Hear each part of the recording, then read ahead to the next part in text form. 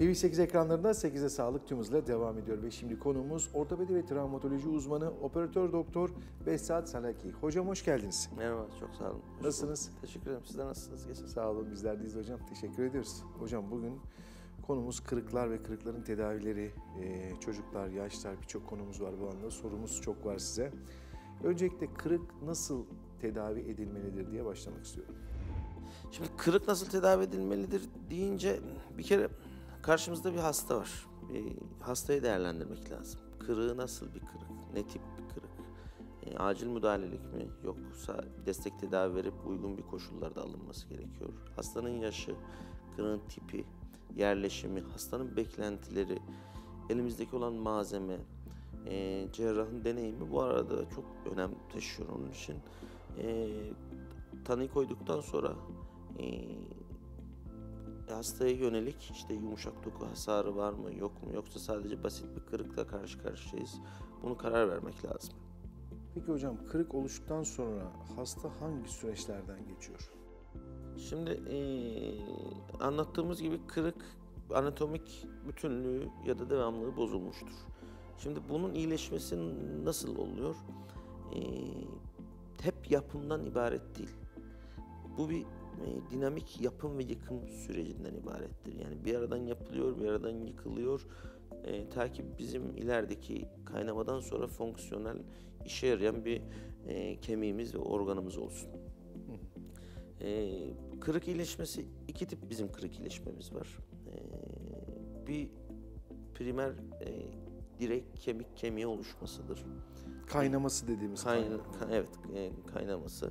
Fisür dediğimiz çatlaklarda oluşan ya da bazen biz e, sıkı tespit, rigid tespit dediğimiz olaylarda özellikle e, üst e, ekstremite dediğimiz kol, omuz bu bölgelerde sağladığımız tespit ya da iyileşme sürecidir. Burada direkt kemik oluşur. Bir de sekonder ikinci iyileşme var. Genellikle bu iyileşme oluşuyor, bu meydana geliyor. Burada ilk bir yumuşak kallus dediğimiz kırdak benzeri bir doku oluşuyor. Sonra bu yumuşak doku sert kallusa dönüşüyor. Sert kallusa dönüştükten sonra ileriki zamanda yük, taşıma, hareket, bası, gerilme bağlı şekillendirme oluyor yani. Bu da üç tane aşamadan oluşuyor. Yani bir enflamasyon iltihabi olayımız var. Kırık oluşuyor, kanama oluyor. Vücut e, iyileşme dokuları işte fibroblastır, e, kök hücrelerdir falan, platetlerdir. Orayı saldırıyor. E, bir hastalık sonuçta iyileştirmeye çalışıyor. Ondan sonra iyileşme dönemi var ki bu aşamada yıpım ve yakım, e, yapım ve yıkım beraber e, işlev yapıyor. Kemik oluştuktan sonra ileriki yük vermelere, gerilimlere bağlı şekillenme ya da remodelizing dediğimiz çocuklarda bazen mesela açılı kırık geliyor. Aileler soruyor. Bu açılı 5-6 derece açısı var ne olacak bu? Çocuklar daha büyüme çağında oldukları için bu remodelizing olayı onlarda daha kuvvetli. Onun için bazen hatta e, bir çocuğu kemiği kırılmış, çok yamuk da yani hastaya göre yamuk ya da şekli açılı kaynamış.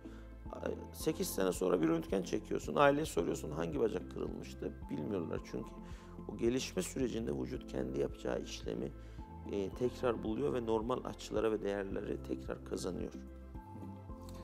Hocam biraz kırık tespit yöntemlerinden bahsedebilir miyiz? Ee, evet, kırık tespit yöntemleri hastaların merak ettiği. ya. Kim ameliyat ediyorsun? Niye alçı? Niye atel? Evet. Niye platin? Niye protez? Kırık tespit yöntemleri en basit bizim e, alçı ya da atel dediğimiz yarım alçı. Ödem özellikle şişlik riski olduğu zaman e, atel kullanıyoruz. Alçı kullanmıyoruz. Çünkü alçı sıkı bir e, malzemedir ve esneme payı yok. E, şu kırığın tehlikelerinden biri de kompartman sendromu dediğimiz olay. Kanama o kadar fazla oluyor ki içerideki yani bir yere kadar esniyor doku ondan sonra esnemiyor. İçerideki organ sinire damara bas yapıyor. Ee, bazen çok oluyor özellikle mesela özellikle doktor e, gözetimi altında olmayan iyileşmelerde. Hastanın eli felç oluyor. Niye? O kadar kanama çok olmuş ki içerideki damara sinire bası yapmış. Oradaki kas tahlile gitmiş, erimiş. Sinir hasar görmüş, uyuşma, hareket kısıtlığı, e, organda küçülme gibi olaylarla. Onun için mutlaka kırıktan sonra hastaya söylüyoruz yüksekte tutun, buz koyun, alçı yerine atel uyguluyoruz. Korktuğumuz vakalarda yatış öneriyoruz. Gözümüz önünde olsun, ihmal olmasın. Çünkü o olay olduktan sonra artık geri dönmesi çok zor. E, ikinci yöntemde açık dediğimiz e, dokuyu açıyoruz. İçeriden ya da dışarıdan e, plaklar, özel vidalar, özel malzemelerle kırığı tespit ediyoruz. E şimdi bu açık e, tespit bir 150'lik senelik bir hikayesi var. Ve ilk önce diz kapağına yapılan bir işlem. Ondan sonra bu süreçte gelişti, malzemeler gelişti, e, tedaviler gelişti. E, bazen acil durumlarda hastanın hayat tehlikesi olduğu zaman eksternal fiksatör dediğimiz dıştan tespit e, büyük ihtimalle görmüşsünüzdür. E, dışarıdan uzun vidalarla aparatlar takıyoruz ki geçici bir tedavi oluyor. Hastanın hayati tehlikesi atlatılsın. Hastalar soruyor kaynamaz mı? Yok zaten e, dediğim gibi yani kırık, kırıldıktan sonra kanaması bozuluyor. Bir iki hafta sonra maksimum kanlanmayı elde ediyor. Üç ay sonra bu normal hayata dönüyor yani bu e, yıpı, yıpım, yapım ve yıkım hemen olmuyor. Hemen Evet. üç günde kemik kaynamaz. Keşke Tabii. öyle olsa. Biz de rahatlarız. Hastalar erken işe döner, erken bastırırız, erken yürütürüz. Onun için e, çok merak edecek bir durum değil. Bize önemli olan hastanın hayatı. Evet. Kırık her türlü iyileştirilir. E, deforme ya da şekil bozukluğu bile kaynasa en kötü bir daha ameliyat edersin ama en azından hastanın hayatını korumuş olursun. Peki hocam ne tarz e, operasyonlar, ne tarz kırıklarda cerrahi olmazsa olmazdır? Evet, e, çok güzel bir soru. E, şimdi açık kırık varsa dediğim gibi enfeksiyondan korkuyoruz. açık kırık dediğimiz e, Kemik dışarı, çıkıyor. çıkması değil Kemiğin mi hocam? dışarı Evet. çıkması aynen. Açık kırık dediğimiz o, o durumlarda.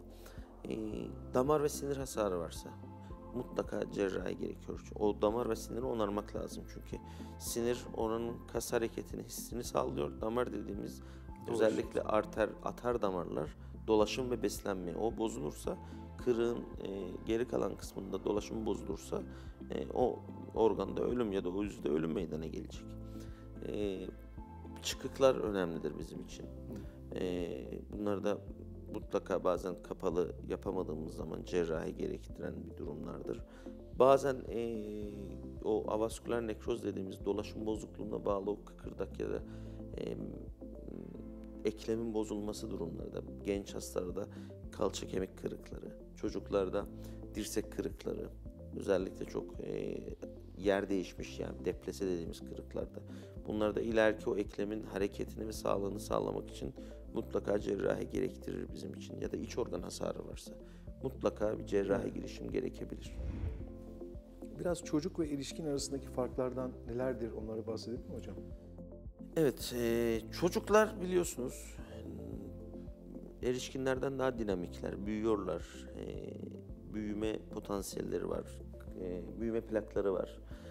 Onların kırıkları birçoğu bizim için işte alçı atelle dediğimiz takiplerle e, sağlanıyor. Çok nadir demeyelim de bazen ameliyat ihtiyaç duyuyoruz. E, bazen kaynamıyor, bazen e, çocuk çok aktif. Bir yaştan sonra e, e, alçı alamıyorsun. Uyluk kemiği kırı. Bir yaşa kadar biz tamamen alçıyla tedavi edebiliyoruz.